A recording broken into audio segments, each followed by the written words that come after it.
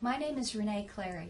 Did you know that 2016 marks the 100th year anniversary of our United States National Park Service? Well, some of the national park sites are a little bit older.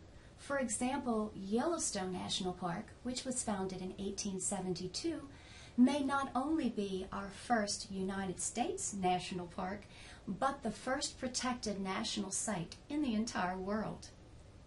However, it wasn't until August 25, 1916, that the United States Congress founded the National Park System to manage all of the protected sites in our country.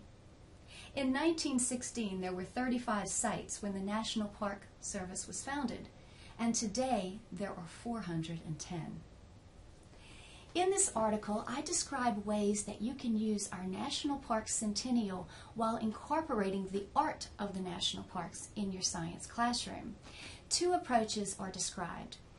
In the first approach, we use the national park sites, which are established because of their unique biology, geology, or cultural heritage, and we ask students that these sites serve as inspiration for writing and sketching activities in the classroom.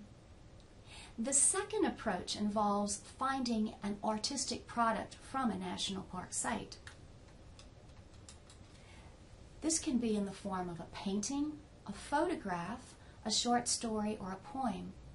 Then we ask students to analyze the artistic work and find the science behind it.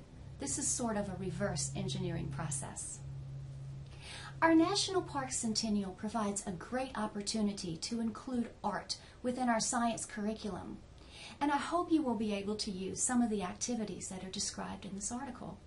If you do, please let me know. My email address is found at the end of the article.